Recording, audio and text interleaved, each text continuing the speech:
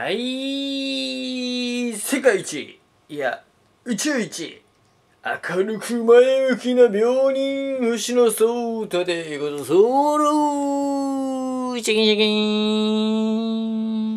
ン。自分で、えー、病人って、えー歌いましたが、病人って歌っちゃいましたが、皆様にとって、ソータってどういう存在ですか？はい。まあ僕はですね、えーご覧の通りです。この後ろのポスター見てわかる通りなんですけれども、えープロのミュージシャンなんでございます。はい。まあ、自分自身ではね、ミュージシャンって、あの、言うよりも、表現者でありたいって思いのが強いんですよ。うん。だから、えー歌が一番だよ。歌で、え世界中の人に思いを伝えたいっていうのが一番なんだけれども、別に歌にだけに限らずね、うん。絵でも、あのー皆様に自分の思いをこう伝えたいし、あの、文章でも思いを伝えたい。役者でもいいと思ってる。うん。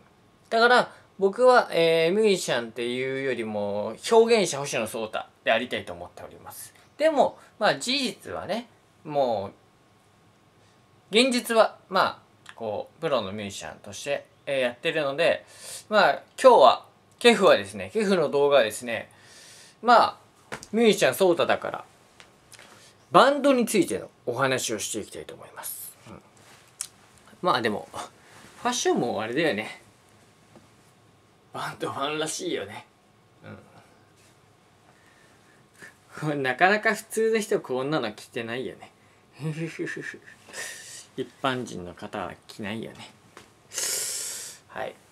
で、えー、じゃあどんな、えー、ミュージシャン話を、えー、していこうかなって考えたんだけれども、えー、バンド名。うん。バンド名って、えー、世にいっぱいあるじゃない。もう、無数とあるじゃない。で、バンド名の由来、みんな知ってる？うん。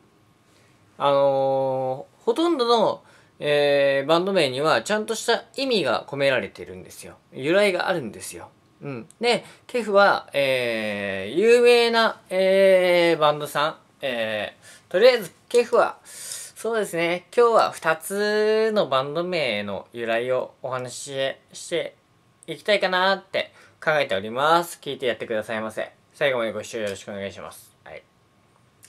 で、僕が一番初めに話したいバンド名さんはですね、やっぱ、うん、いなんかいきなりね、マイナーなバンド名を言ってもさ、知らなかったら面白くないかなと思ったから、一番、世界で一番有名だと、うん、えー、僕が思ってる。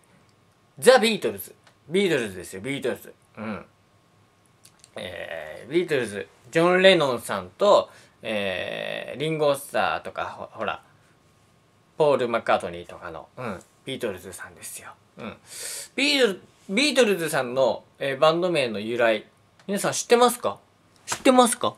知ってますか？ふーんえっとですね、ビートルズにはですね、えー、二つの意味が込められております。はい。まあ、二面性っていうやつですよね。うん。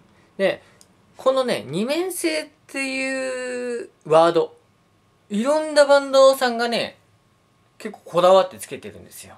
うん。で、じゃあビートルズってどういう二面性があるかっていうと、えー、まず、ビート。うん。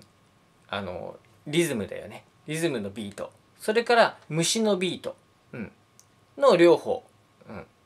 だから、ビートルズってさ、あの、綴り、みんな知ってる？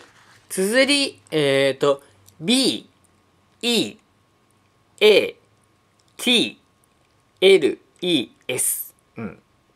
BEA なんですよ。BEAT のビートなんですよ。うんでも、これが B、EE にしちゃうと、BEE にしちゃうと、ただの虫だけの意味になっちゃうの。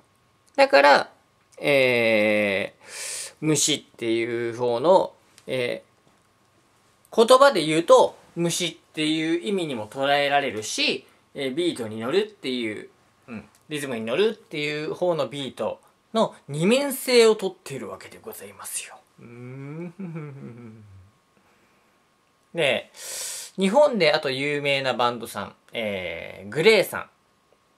知ってますよね？あの、ボーカルさん、テル、えー、そしてギターさんの拓郎さんがいる、えー、グレーさんも二面性をワードとして、えー、つけたらしいんですよ。うん。えー、グレーって灰色って意味でしょ？うん。で、黒が、えー、ダーク。で、白がポップ。その間を行こうというところをとってのグレーなんですよ。うん。はい。皆様はね、えー、洋楽の、洋楽と言ってもビートルズだったらみんな知ってるでしょ？で、日本のバンドグレーさんはね、めちゃめちゃ売れたから、今でも売れてるから、皆さんも知ってるでしょ？だから、ケフはその2バンドのお話をいたしました。そして、えー、2つのバンドの共通性として、えー、二面性、うん、が、えー、あったから2つのバンドのお話をいたしました。うん、楽しんでくれたら幸いでございます。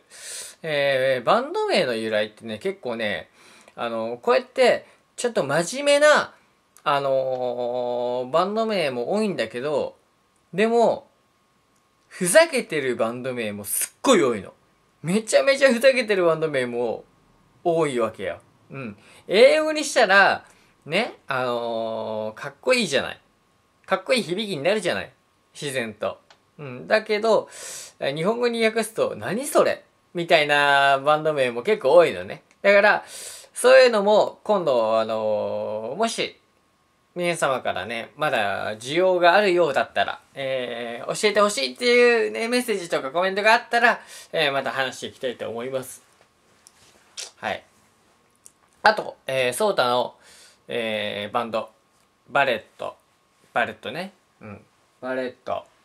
そしてもう一つやってる、告白。これの由来も聞きたかったら、コメント、メッセージ、くださいね。待ってるぜ。えー、最後までご視聴ありがとうございました。えー、つまらなくても高評価。そしてチャンネル登録。よろしくお願いします。最初の状態でございました。一緒に転がってください取れちゃった？